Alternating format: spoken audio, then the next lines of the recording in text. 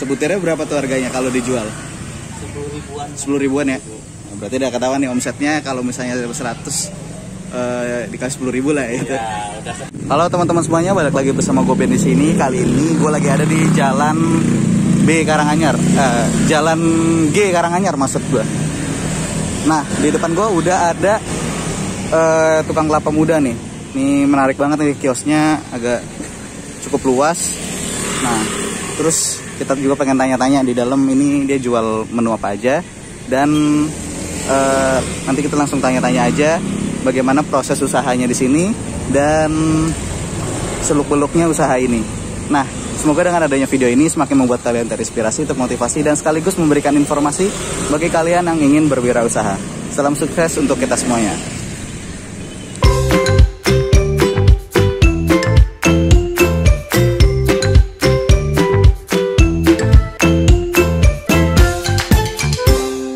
Siapa nih?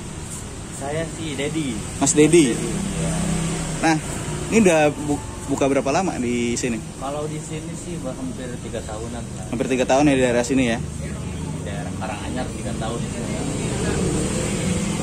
Terus eh, selama tiga tahun ini udah ada cabang lain nggak? ada satu di Lause ada Di Lausa satu. satu Berarti selama tiga tahun ada satu Ada, cabang iya, ya. ada satu cabang. Yang jaga siapa tuh di situ? Sono masih saudara juga Masih sih. saudara ya yang jaga. Oh.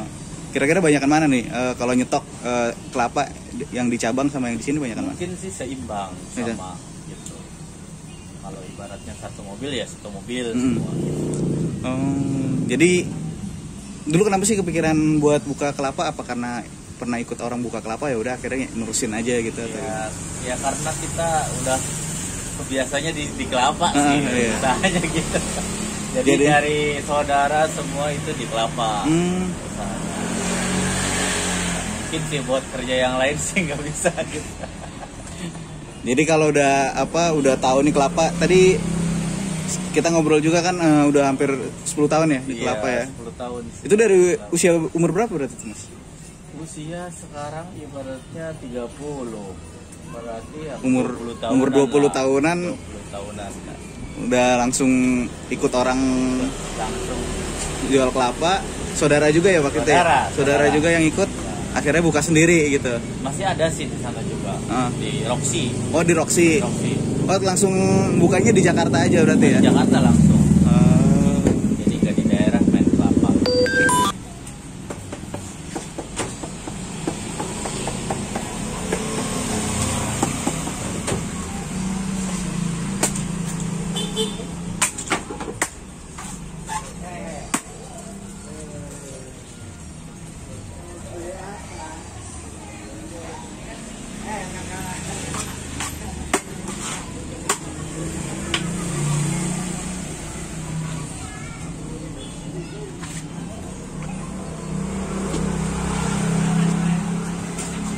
Itu tahu mudanya kelapa tuh ketokannya gimana tuh? ini dari ininya Om dari suaranya sih Oh. Ada suara-suara tertentu lah yang bisa tahu nih.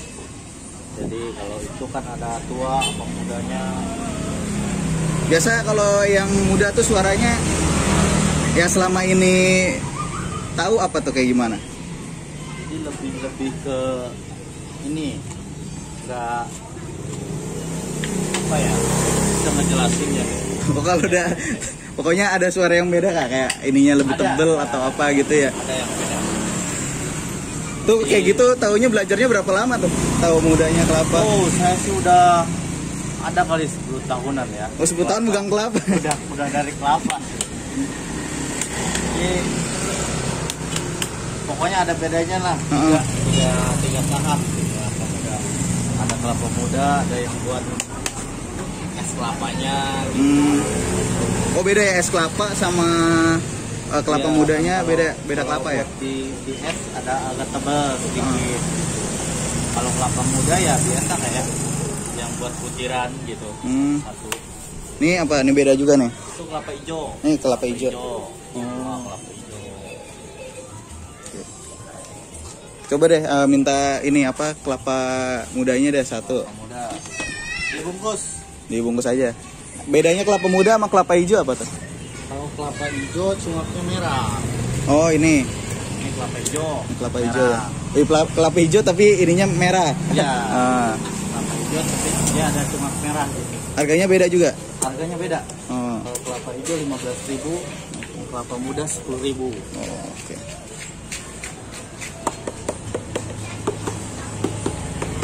Iya, berarti udah 10 tahun 10 tahunan yang megang kelapa. 10 tahun udah di kelapa. Dulu sempat kerja di mana atau langsung dagang? Dulu sih ikut abang. Oh, ikut abang dulu. Iya.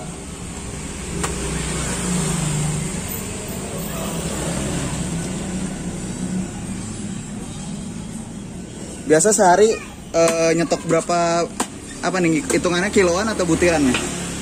Butiran sih, artinya butiran. Kalau Hmm. satu kali turun ya bisa 1000 1000 butir ya. butir. Cukup nih 1000 butir sege- segini. Nah, biasanya sih ini cuma separuh lah. Oh, ini separuhan? Ya. Karena lagi ini kan lagi stok kan nggak banyak.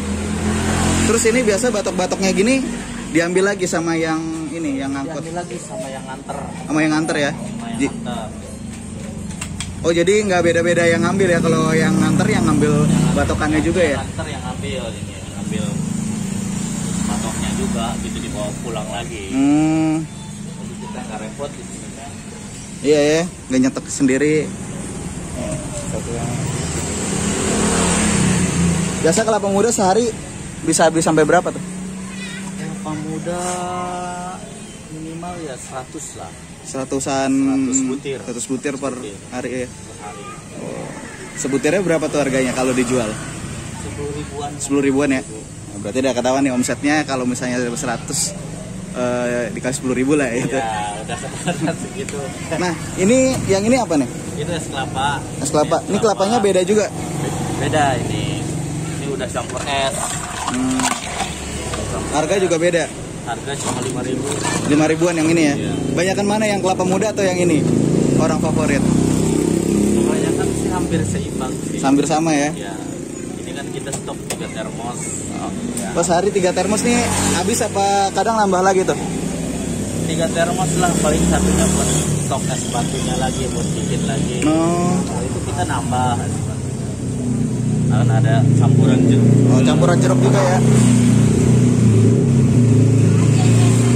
Boleh deh yang intinya nanti satu ya. Ya siap.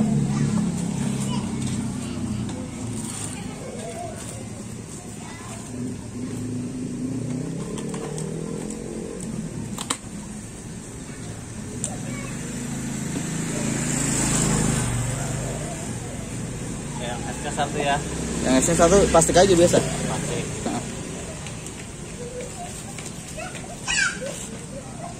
Ini berarti eh, online offline ada nih. Ada. Online offline ada. Biasa banyakan mana tuh online sama yang offline yang ke sini sendiri. Oh, offline sih kebanyakan. Iya. Di sini kebanyakan ya paling yang beli langsung ke sini. Oh. Kalau online sama itu ada beda harga sama Beda. sama- dibedain ya. Ya, mungkin kan itu kepotong ada ininya juga. Ya, kepotong biaya Iya, aplikasi lah ya. aplikasi. Setiap setiap pedagang wajar begitu. Iya, iya.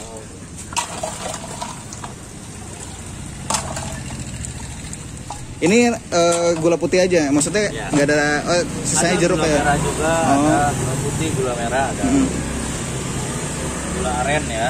mm. Ini pakai susu juga. Oh iya, ah, pakai susu.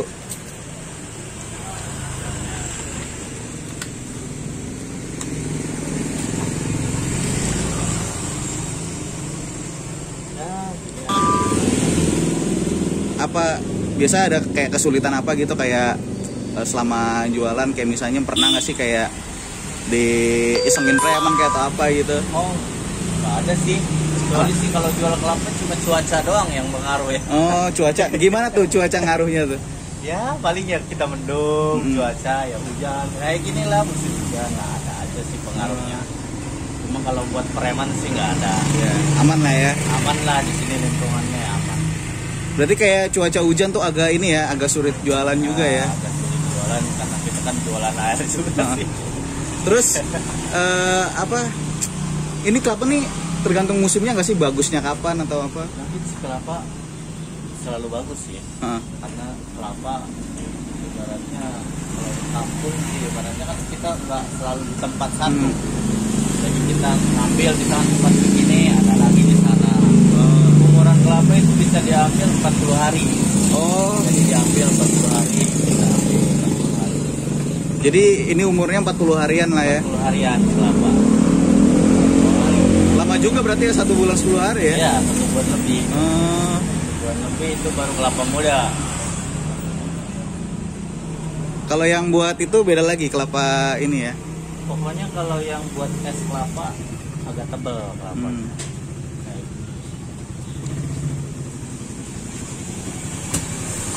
Oh ini buat es kelapa ya? es kelapa es Oh, kelapa es kelapa ini nggak ada ininya ya? Apa? Hmm.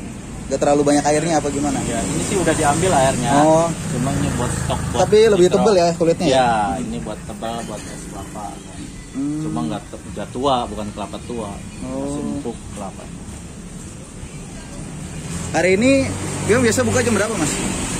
buka saya jam 8 Jam 8 pagi, udah buka lapak. Iya. Biasa tuh di apa ini? Maksudnya di, di terpal aja atau? ditutup gini aja sih karena kan di sini kaki lima gitu Heeh.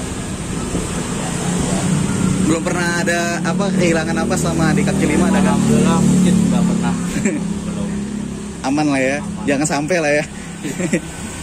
Jadi nanti kalau misalnya balik ini alat-alat bawa pulang?